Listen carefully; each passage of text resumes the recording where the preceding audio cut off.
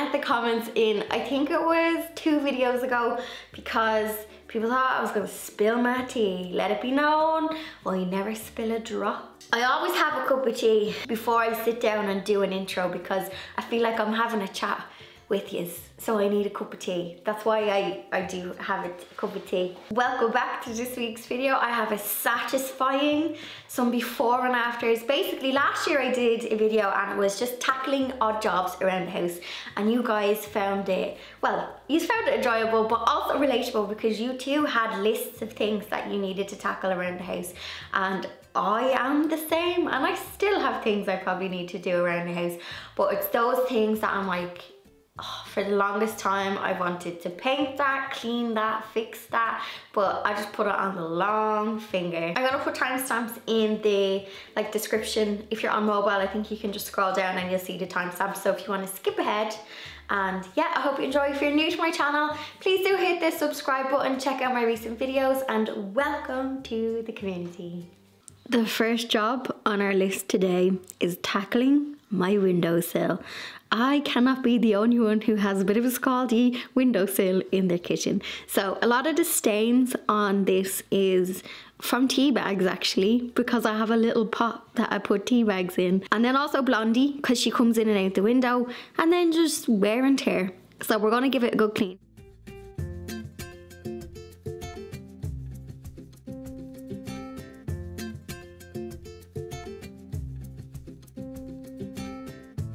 Am also with Blondie's assistance gonna clean the window and the blind while I'm there. So like the window isn't too bad but it's the UPVC frame that is just a bit scaldy.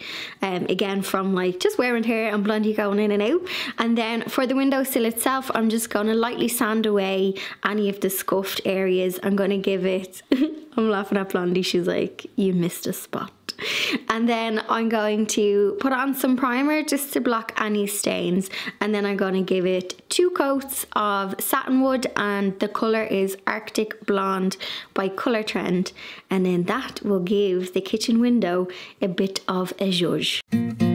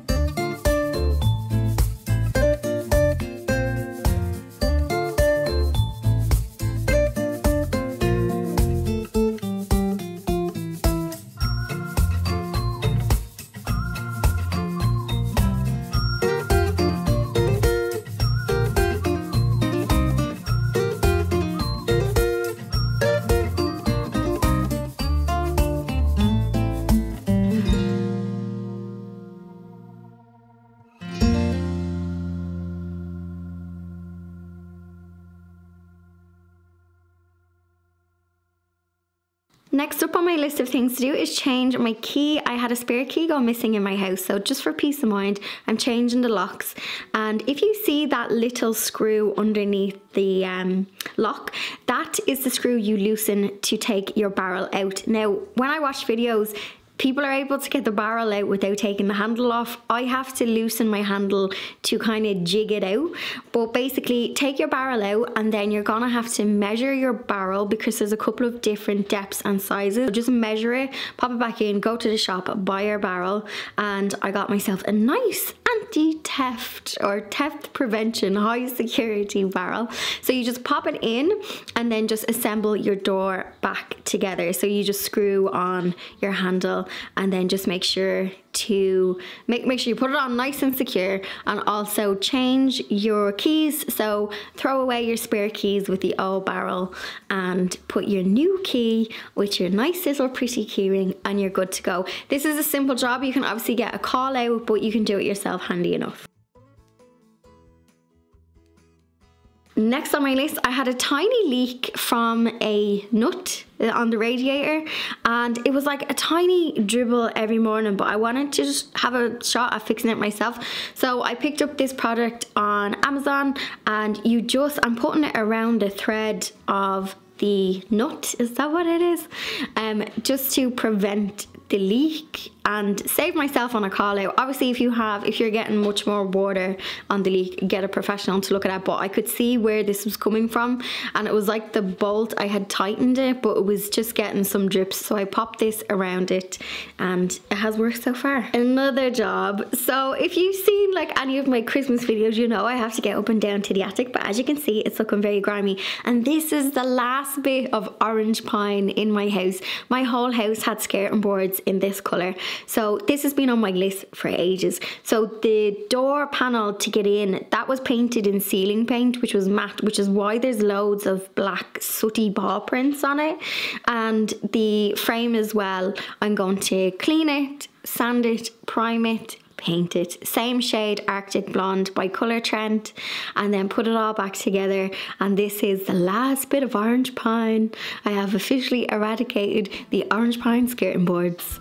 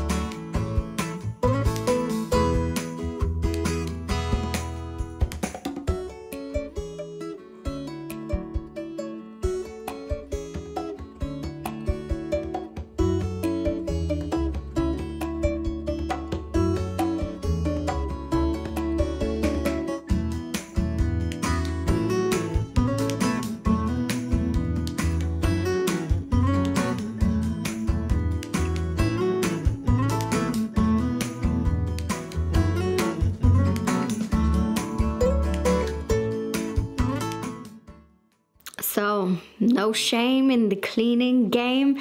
Look how filthy this blind is. So, if you have cats, you'll notice there'll be corners in your house where um, I think it's just dirt from their fur. But Blondie climbs out this window and this blind, I won't lie to you, I couldn't tell you the last time I cleaned this. So I'm using some crud cutter, but also vinegar and water I have been using in a spray bottle with some essential oils to clean the blinds because the dust was thick on them. No shame, no judgment. Let me know if you too have these. So it took me about half an hour to clean the blind, like the whole thing, and then I tackled the window. Now, I cleaned the inside of the window probably in winter time. So the spiders had moved in. I don't know how it got that filthy, but the window Yes, you're going to see in a minute. I've got the cobwebs on the the PVC frame, so I just gave it a good clean, and it feels so good tackling little jobs like that. Um, because I can now look out my window and not be cringing. Oh, look at all that dirt! But it is now clean.